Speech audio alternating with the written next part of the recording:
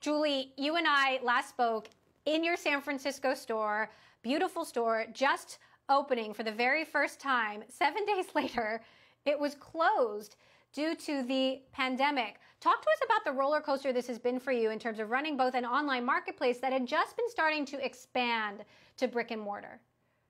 Well, gosh, you know, it, um, I mean, everyone who has any kind of business has been through this, but we went from boom to oh, we can't conduct business. And it was really hard hmm. in the state of California.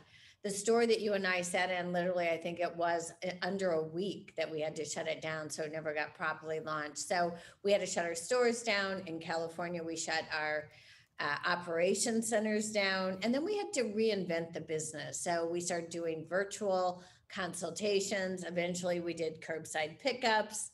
Um, but look, that was then, um, and we just went, had a really a nosedive in our business. But we're we're back, and the stores are open. In fact, we're excited that um, we're going to open another store in Chicago this quarter. So very exciting.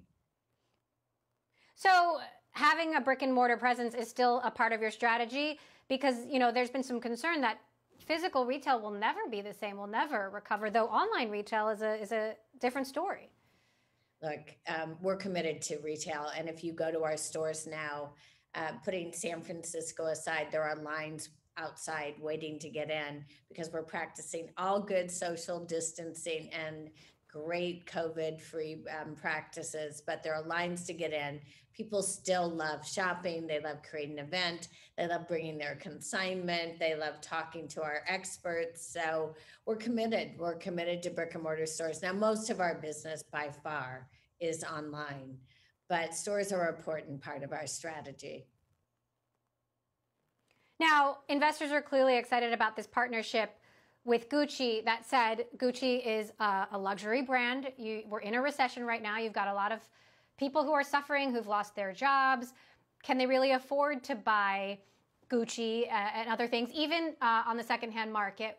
Why do you think this? How, how much do you think this is going to drive business for you? Well, look, uh, this is really about sustainability, and it's about making sure that we talk to the world, really, because Gucci is a worldwide brand, about the importance of recirculating goods and the power of consignment.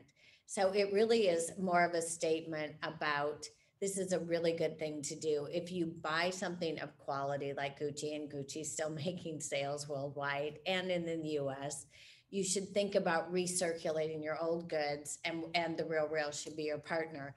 But it is a dedication to sustainability um, and when someone does either buy on the RealReal or consign, Gucci and the RealReal are planting a tree from one tree planted. So it's really um, a strong statement about the positive impact of consignment on the planet. So, what is your outlook for the holiday season? We just saw Amazon delay Prime Day to later this month, and I think you've got a lot of retailers just trying to figure out um, how to ride uh, the waves that, that just seem to keep coming, for better or for worse? Look, I would be a fool to forecast. Let me tell you how we're preparing. We're preparing for a really good holiday season because we may have one. I mean, the truth is, no one knows uh, March 1st, if you would have said we're going to shut down our, our brick and mortar stores and our luxury consignment offices for months, I would have said, why, why would we do that? So um, I would say we're preparing for a good one. Um, we've seen a strong demand in our products, and I would expect that demand to accelerate during gift giving time. So uh, we're ready, and if, uh, if the market's there, we'll be able to fulfill those orders.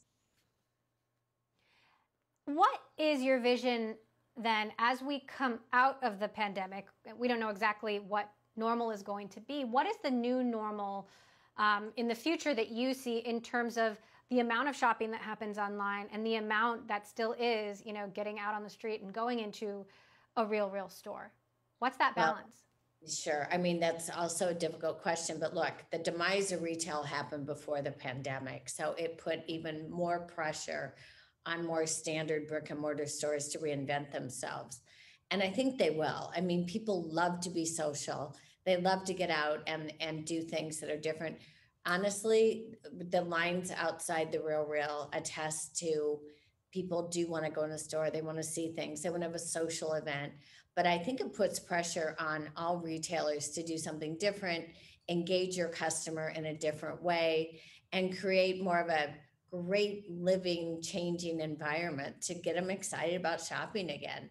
It's not impossible, but what was, it was a dying, it was an industry under pressure before. COVID pushed it over the edge. And whenever that happens, it means it leaves the door open for innovation. And um, we've always been innovating. It gives us more opportunities to try new things too. And last quick question obviously, you've been working in Silicon Valley a long time, going back to pets.com and, and even before that. A lot of businesses have been suffering as a result of the pandemic, but you've seen Silicon Valley and the tech industry weather major crises. Do you think this crisis, crisis will be different for tech or no? Oh, I think so. I mean, look, um, first of all, I believe in I believe in humans' ability to create and innovate. So we will be back. It'll look different. Personally, I'm I'm worried that some of the tech companies have said we're going to be virtual for X number of years, or they've said another two years. I actually don't believe that's good for creativity, innovation, for people's um, really soul. Because when you work together and you collaborate there is another entity in the room and that's the collective mind. You don't get that the same um, over virtual. So we're looking forward to getting back as a company we're not giving up our real estate space but look uh, in times of great uncertainty and when things change it always leaves opportunities for new businesses to really do well and for people Okay. to innovate and that really is the human spirit